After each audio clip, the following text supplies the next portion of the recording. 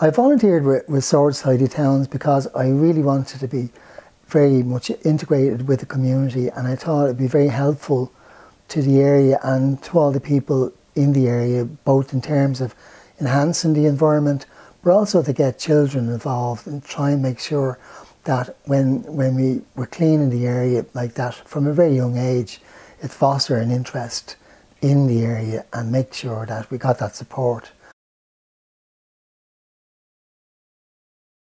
Um, he's always there with a bit of crack and a joke and to make it more interesting when you're going around picking litter and taking cans out of the river and you know really awful things that you don't get no thanks for. There's Matt making a laugh and a joke, so he's great fun. Um, some of the projects we've been involved with in Swords is doing a renovation of the Garda station, which was an old building.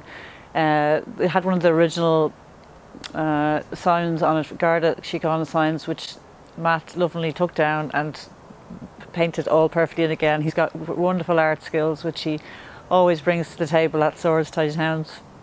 And also, we, the, this year we're involved in fundraising for a polytunnel, which we've just erected and we want where we are now. Uh, and he's been instrumental in some of the meetings, uh, putting that together.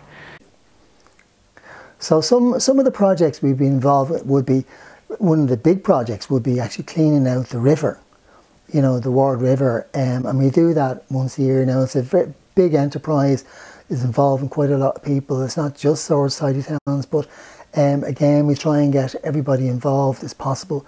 And then also what we would do is we we do a clean-up every week, you know, and in some cases it'd be twice a week. And the idea would be that also to um, remove graffiti. So it's just both clean-up and it's also involved in making sure that the area looks very presentable.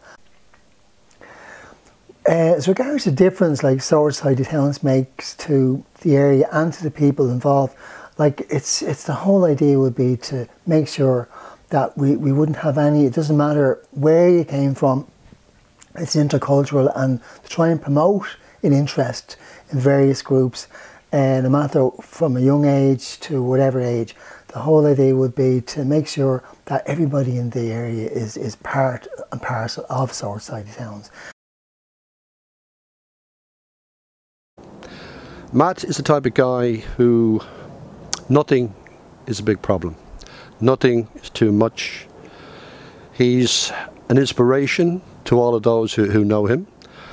They are aware of the problems that Matt is going through in his personal life, but they're also astounded at how Matt copes with those problems. I've been involved with Matt for 10 years, as I say, with Swords Tidy Towns. Um, Matt has been how can I put it, a friend to all of our members.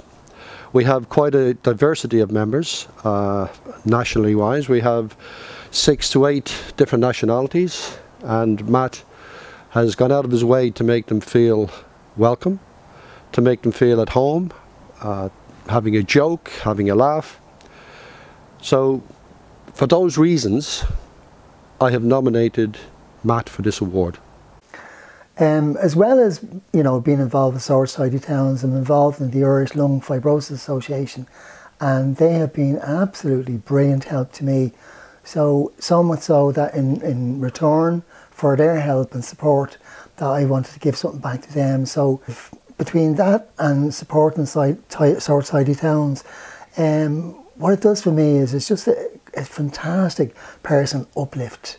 Like ever since becoming quite sick um, this is a, it's a, in one respect, it's a way by which to focus your attention on other things other than the illness. But it'd be also very true to say that it would make a huge difference to me psychologically.